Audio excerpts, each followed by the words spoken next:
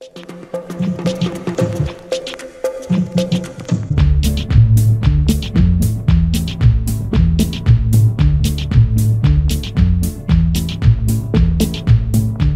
movimiento de medios libres en América Latina recupera las luchas de radios comunitarias, televisoras populares, prensa independiente y los avances del cine indígena y comunitario. Senderos comunicativos que con diversos grados de madurez en nuestros pueblos hoy apuntan hacia enfoques de autonomía técnica e informativa. Desde hace 10 años, la articulación editorial y el intercambio de saberes ha visto nacer diversos encuentros regionales que han marcado hitos fundamentales hasta hoy en el 2022 en esta Escuela Latinoamericana de Comunicación en defensa de los territorios corales. La escuelita coral eh, es un proceso que venimos trabajando ya hace varios años, hace 8, 9, 9 años, a nivel continental aquí en América. Eh, ya no habíamos reunido antes, ya habíamos trabajado antes, eh, ya habíamos soñado antes juntos y, y, habíamos llevado a la práctica esos sueños. La primera vez que nos reunimos, nos encontramos, fue en el 2015, 2014, si mal no recuerdo, acá en México, en la Ciudad de México, en el B4C, que se llamó, que fue el video para el cambio. Este fue un encuentro que organizó Witness, eh, aquí en Latinoamérica, y que convocó a, a gente que hacía audiovisual, eh, eh, videos, comunicación comunitaria, enfocado principalmente en lo audiovisual, de distintas partes de, de Latinoamérica. Y ahí nos juntamos por primera vez y, y, fue cuando vimos que teníamos muchas similitudes, teníamos muchas cosas que nos unían, también hartas diferencias de las cuales podíamos aprender y, y empezamos a hacer también un, todo un proceso de mapeo de territorial, eh, de identificar también quiénes, quiénes estaban realizando situaciones similares a las que estábamos haciendo nosotros en el continente. Me parece como muy importante este momento histórico para generar redes que permitan compartir nuestras prácticas y nuestras estrategias y también nuestras producciones. Es lo que nos da fuerza a nosotros como medios libres ¿no? y comunitarios para el despertar de toda la, la gente que, no, que aún está en, en el ritmo del sistema. ¿no? Y dijimos que nos volviéramos a reunir, o sea, que no nos quedáramos ahí, volvamos a juntarnos, volvamos a trabajar en conjunto. Y ahí durante las Olimpiadas de Río de Janeiro, las últimas Olimpiadas que se hicieron ahí, eh, decidimos juntarnos en ese territorio porque estaban sucediendo muchos desplazamientos eh, de comunidades urbanas, de favelas que se conocen, y eso no estaba siendo coberturado por la prensa, no estaba siendo visibilizado. Es más, todo se ponía que Brasil se estaba poniendo de gala cuando en real, realmente eso significaba desplazamiento forzoso, eh, criminalización, encarcelamiento de personas eh, que simplemente vivían en el lugar donde se había propuesto poner la Villa Olímpica.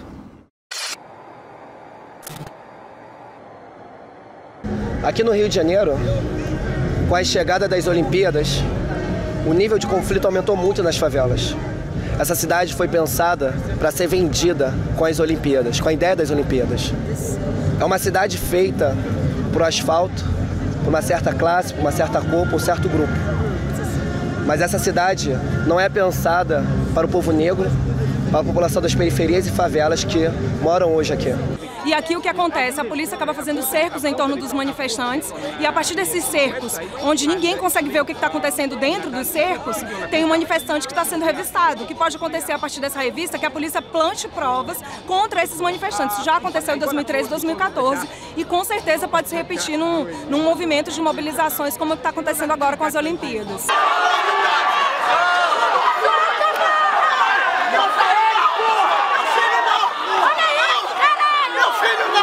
Seu filho, senhora? Meu filho! Calma. Y nuevamente volvimos a decir, juntémonos de nuevo, sigamos trabajando en, en conjunto, como lo hacemos, cómo seguimos brindando este apoyo a las comunidades que necesitan la herramienta de comunicación. Y estamos en eso cuando sucede y atraviesa eh, la muerte de Berta Cáceres, esta ambientalista, ecologista, eh, feminista y eh, organizadora de su comunidad en Honduras. ¡Se si creen que nos van a callar! ¡No! ¡No! ¡Se jodieron porque ella está aquí! Y hay miles de Bertas en todo el mundo. ¡Hay miles! Fue algún golpe muy fuerte también para, para toda Latinoamérica, porque fue como darnos cuenta de que pues esto también sucede acá, también sucede en nuestros territorios, también eh, existe esa, esa, persecución y esa criminalización de quienes defendemos la vida. Entonces, inspirado por todo lo que significaba Berta, decidimos ir a sus territorios y dar el apoyo a las comunidades del COPIN, a las comunidades de Movimiento Amplio y, y eh, Garífuna, que son eh, distintos movimientos y comunidades que existen en Honduras y nos juntamos todos en un camión, salimos desde México, recorrimos Guatemala y finalmente llegamos a Honduras donde nuevamente fuimos a compartir herramientas. Bueno, éramos varios países, o sea, varias personas de diferentes territorios. Estuvimos recorriendo, quedándonos por suerte un tiempo, ¿no? Como nos podíamos quedar una semana en cada territorio y eso nos permitía convivir también con la comunidad, más allá de, dar talleres, ¿no? Y socializar información y también retroalimentarnos de esa información, también se daban muchos momentos de convivencia y creo que también son fundamentales en este formato caravana esa convivencia del día a día entre los medios y con las comunidades, fortaleció los vínculos y esas articulaciones políticas, pero desde lo humano. Entonces, como mm, esta excusa que eran los talleres, ¿no? Para llegar y sentarnos y hablar por ahí de cómo sacar una foto o cómo grabar un video, cómo hacer un guion, eran la excusa para conocernos, ¿no? Para estar cerca, conocer los peligros y conocer también todas esas coincidencias que teníamos de los lugares donde sacábamos la fuerza, de los lugares donde decidíamos resistir, como mm, eh, fue como un momento, me parece, muy de mucha mística también y de levantar mucho el ánimo para volver a los territorios, ¿no? que pasa siempre un poco en los encuentros como estos, que también nos dan aliento. Sí, y también algo que se escuchaba mucho de las comunidades es eh, un poco esa sorpresa que les daba de que nosotros llegáramos a esos lugares y sean muy acostumbrados a que quienes llegan a estos lugares en conflicto son ONGs que vienen con ciertos presupuestos y nosotros éramos grupos de comunicadores que veníamos a buscar una reciprocidad, aprender y poder entregar lo que podíamos entregar. Y eso ya creo que para una comunidad es, eh, me están tomando en cuenta, eh, les interesan nuestros relatos. Y yo sentía esa satisfacción de parte de algunas comunidades y era muy bonito sentir lo mismo, eh, sentir ese intercambio, ese trueque. Estamos aquí comenzando, iniciando la transmisión de nuestra radio comunitaria Cordillera desde el campamento digno por el agua y por la vida en la aldea de Pajuiles. Aquí tenemos a algunos integrantes de la caravana mesoamericana de medios libres y algunos otros compañeros que se han acercado para dar inicio a este proyecto que hoy echamos a andar en nuestra lucha. Obviamente hubieron muchos errores, aprendimos mucho, nos costó, uh, tenemos mil historias para contar sobre las cosas que salieron mal, pero lo que no salió mal fueron las ganas de seguir eh, trabajando en conjunto. En 2019 nos tocó mm, ya no viajar para las caravanas, sino recibir gente. Se hizo la caravana en Hualmapu, en territorio mapuche. Y un poco también se hizo porque mm, durante la caravana mesoamericana eh, habían llegado noticias desde el sur bastante fuertes en términos de la criminalización del pueblo mapuche. Llegan la noticia de que aparece eh, sin vida Santiago Maldonado, que había sido mm, había desaparecido en un corte de ruta en una lucha de una recuperación territorial mapuche en el sur. Eh, y poco después el asesinato de Rafael Nahuel, también en, una, en una, recuperación territorial en Bariloche, y que esos dos territorios fueron visitados y se pudo también como mm, registrar un poco cómo estaba, cómo, cómo había avanzado ese proceso, cómo estaba esa recuperación. Eh, a la vez que también me parece importante que se generó como un fortalecimiento de esa articulación política para todos los medios que formamos parte de la caravana. Creo que ahí fue el punto como más fuerte eh, como objetivo político de ese proyecto, ¿no? Como realmente poder visitar esos lugares que son territorios muy grandes, en el sur son distancias largas y pocas veces se puede poner eh, el cuerpo ahí a disposición. Y aparte del fortalecimiento de los medios y de quienes participábamos, eh, Argentina estaba en un proceso en sus comunidades de fortalecimiento también de, su identidad eh, mapuche. Y también pudimos ver eso, pudimos observarlo y también aportar en ese fortalecimiento, porque estuvimos en, comunidades donde estaban levantando la primera machi de, de Puelmapu en muchísimos años. Eh, y era una realidad bastante distinta a la que nosotros conocíamos en Chile. Yo creo que ahí el impacto también que pudimos dar en generar redes con Chile fue súper bueno también para las comunidades. Sí, concretamente por ahí un ejercicio que se hizo fue videocorresponsales, ¿no? Videocorresponsalías que tenían que ver con que cada comunidad grabe un mensaje para otra comunidad que íbamos a visitar, ¿no? No, no para difundir ni en redes ni para nosotros, sino para que funcionar como una especie de cartero que entrega un mensaje a otra y eso creo que también fue muy mm, revitalizante también para la lucha. Y bueno, un poco me parece que el objetivo era lograr eh, esa unión, por eso se recorrieron ahí los kilómetros en camiones, autos y demás.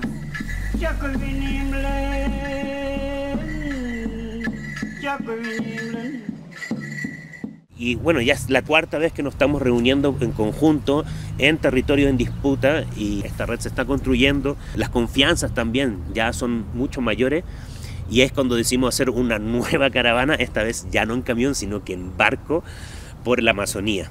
Pero se cruza el tema del COVID y ya no podemos volver a reunirnos físicamente.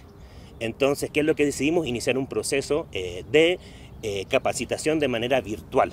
Entonces iniciamos todo un proceso, las distintas eh, organizaciones y colectivos que veníamos trabajando en conjunto, las caravanas, nos sentamos durante un año, básicamente, a analizar nuestras metodologías de enseñanza, nuestras metodologías pedagógicas, eh, a, ver cómo era que nosotros construíamos nuestro relato y a partir de eso construir eh, una sistematización que pudiéramos compartir con muchas otras personas que estuvieran trabajando el tema de la comunicación en el territorio.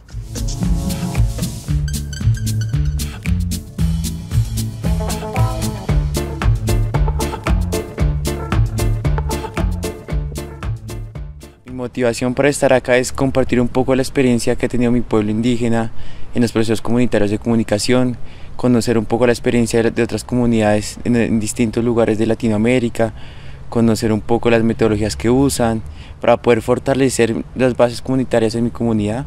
Las expectativas que tengo es aprender mucho más de procesos y experiencias y metodologías que vienen haciendo muchas colectivas y colectivos desde muchos años atrás. Creo que son experiencias que enriquecen y que también motivan para seguir adelante.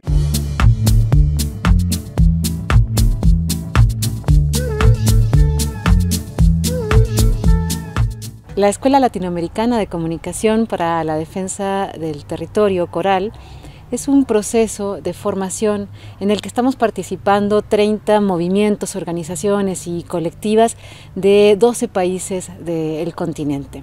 Este proceso inició en septiembre de 2022, de manera virtual primero. Nos fuimos encontrando, compartiendo varias herramientas eh, y, y reflexiones sobre nuestro quehacer, que tiene que ver justo con la comunicación, pero también la formación eh, de esta comunicación y producción audiovisual para defender la tierra y el territorio. Y después de estas varias semanas y encuentros de manera virtual, nos pudimos encontrar de manera presencial eh, en dos, dividido en dos, eh, una parte aquí en México y otra parte en Brasil. Los participantes de Brasil no pudieron, no lograron tener el visa para ir a México, entonces comprendemos esto, esta, este evento como algo que también es una, un instrumento de control, o sea, que los gobiernos eh, de alguna manera nos separan, nos apartan, nos hacen estar como separados. Por eso estamos aquí ustedes están allá, pero seguimos en la misma vibra, trabajando. Então, vir a Paraty para a gente foi muito importante, porque era o fundamento do nosso encontro que essas comunidades brasileiras estivessem é, reunidas e celebrando essa capacidade de resistir a partir da comunicação e do audiovisual. El objetivo de esta escuela tiene que ver con fortalecer la mirada estratégica en la comunicación para defender la tierra y el territorio. Y esto tiene que ver con cuatro acciones o cuatro objetivos. Uno tiene que ver con fortalecer la capacidad de incidencia para posicionar las luchas, pero también los proyectos alternativos que se están construyendo en los territorios. Tiene que ver también con fortalecer la capacidad para documentar y organizar la evidencia audiovisual que vamos generando día con día desde las colectivas, los movimientos, las organizaciones. Material audiovisual que muchas veces se puede utilizar en procesos de justicia. El tercero de los objetivos o de las acciones que, buscamos tiene que ver con el multiplicar, cómo fortalecer las capacidades para compartir, para multiplicar aquello que vamos aprendiendo y produciendo desde los eh, territorios, la formación. Y por último, tiene que ver también con fortalecer la capacidad de articulación, de construir alianzas, de potenciar los elementos comunes eh, en el trabajo de la comunicación para amplificar, llegar a nuevas audiencias, para hacer una cobertura como de tipo continental, eh, tomando justo las coincidencias, los puntos comunes, los acuerdos que existen entre todas estas luchas. Y bueno, en esa jornada tuvimos la oportunidad de participar en una serie de talleres de compartición de, experiencias que se han hecho por un lado de compañeros en Colombia, quienes nos compartieron la forma en que ellos documentan y trabajan con las comunidades en resistencia a través de unas metodologías testimoniales, como ellos lo mencionan, y que tiene que ver con la recuperación de la memoria, de la vida, a través del, testimonio, de la conversación dialogada, más que de la entrevista, y creo que eso me parece una herramienta bastante necesaria justo para entender que los tiempos en, en que se despliega la vida y cómo se narra la vida justo se da a través del testimonio. ¿no? Por la tarde eh, tuvimos un trabajo de seguridad, como los distintos territorios, eh, colectividades, trabajamos estas dinámicas, cuáles son las experiencias que tenemos eh, con ellos, los protocolos que hemos ido trabajando en relación a las amenazas que se han ido presentando a lo largo de los años y desde allí me, llama la atención muchas veces que vamos normalizando estas dinámicas de amenaza, que pasa un tiempo y muchas veces no lo logramos generar eh, sistematizaciones que por otro lado otros compañeros sí han estado elaborando y, eh, y frente a ello también cómo hemos ido configurando diversas redes, diversos saberes que nos van compartiendo cómo hacerlo de mejor manera estas dinámicas de, de seguridad. A gente também teve muitas atividades em torno de narrativas, narrativas populares que constroem mundo, como as comunidades se expressam, que linguagem elas têm usado, como, como elas identificam na narrativa da opressão dos governos, das empresas, a narrativa do progresso, a narrativa exploratória, como eles identificam essa narrativa como antagonista ao seu processo comunitário. El día de hoy fue realmente gratificante. Iniciamos pues eh, con un carrusel donde se hicieron preguntas de, los diferentes de qué estamos haciendo en nuestros territorios y pues permite dar a conocer eh, precisamente cómo es esa lucha en cada uno de los países, en cada uno de los territorios en los que estamos hoy reunidos. La verdad, eh, para mí es como una de las actividades que me ha ayudado mucho a no solamente como entender, sino a tener un abanico más amplio de todos los caminos que se han estado siguiendo y de todos los recursos y también de todo lo que podríamos lograr potenciar, de lo que podemos potenciar en esta articulación, en esta red de comunicación.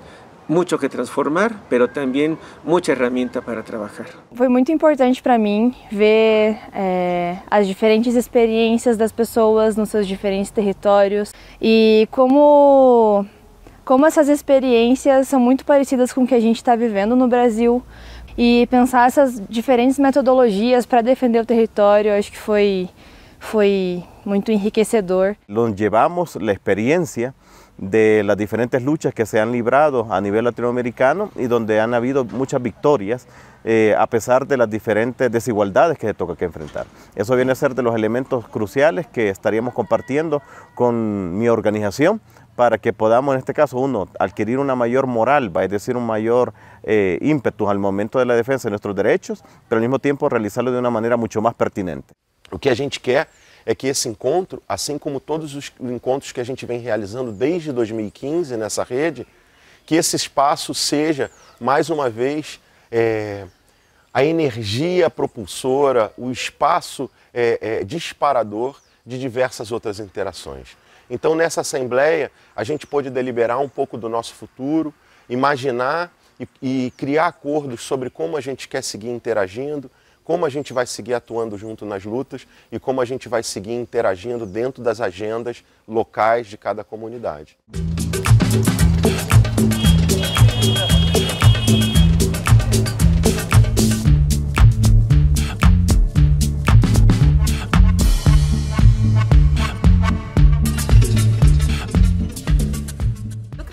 importancia está muy ligada especialmente a los vínculos que podamos establecer, ¿no?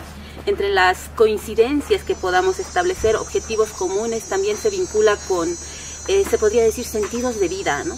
y cómo estos nosotros y nosotras permitimos criarlos de manera colectiva entre todos y todas, pero también a nivel personal cómo nosotros y nosotras nos dejamos criar con ellos y con ellas, ¿no? entendiéndonos también como continuidades de procesos. Entonces, ver todo lo que se construye en ese momento, ser sinceros y sinceras cuando hacemos este establecimiento de redes, cuando nos entretejemos ahí, y vernos también en las capacidades y posibilidades que tenemos, ¿no? Porque a partir de estos cuestionamientos, a partir de estas crianzas, a partir de nuestras herencias ancestrales, es que también pues vamos fortaleciendo estos procesos y vamos consolidando y vamos haciendo que funcionen. Entonces, cuando hay compromiso, cuando hay sentido de vida compartido incluido, inclusive, es que las mismas se sostienen en el tiempo y pueden ayudar a diversificar la producción, ayudarnos a crecer, a cuestionarnos, a construir conocimiento colectivo.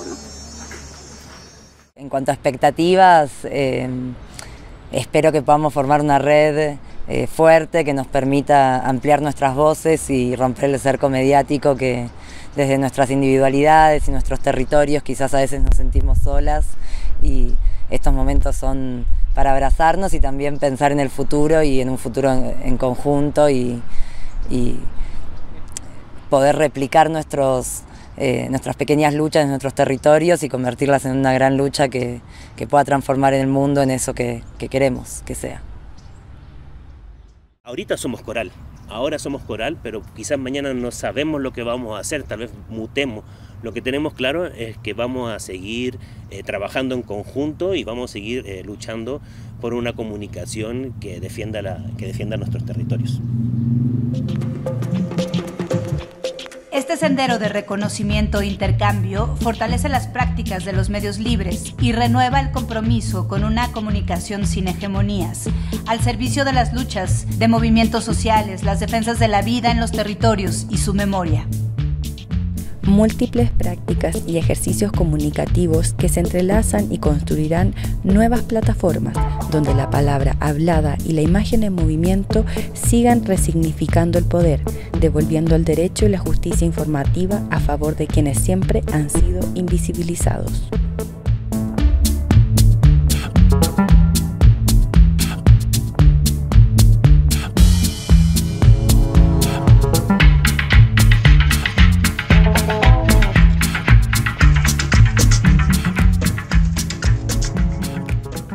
Dentre as muitas serpentes aqui que circulam pela, pela, pela, pelos, pelo nosso continente, a coral é uma que está presente em, todas, em todos os países, em todos os locais, em todas as áreas, e a coral é uma serpente diferente porque ela se mostra quem é, ela sabe quem é, ela defende seu território, porque ela não se oculta, diferente de outras serpentes que, que se utilizam da, do, do ocultar-se, da camuflagem, como seu instrumento como seu comportamento de caça e comportamento de autoproteção. A coral não, a coral se mostra, não dá bote, não ataca né, de imediato, mas ela defende muito bem seu território. E o coral é isso. Esse anacrônimo, Coletivos Reunidos de América Latina, que eventualmente é coral, é justamente para buscar essa identidade. É quem nutre e é quem cura a terra. Então, é devagar, porque também são camadas que a gente vai tirando e vai limpando, que vai trocando. E isso mostra que o movimento só é possível.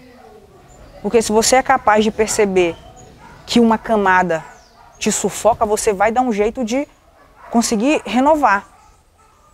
Então, a renovação só pode se dar pela escuta e pela escuta do diferente. Mas eu acho que a coral trouxe isso muito bem justamente podemos construir porque estamos num lugar de aceitação das diferenças e não de uma imposição de igualdade.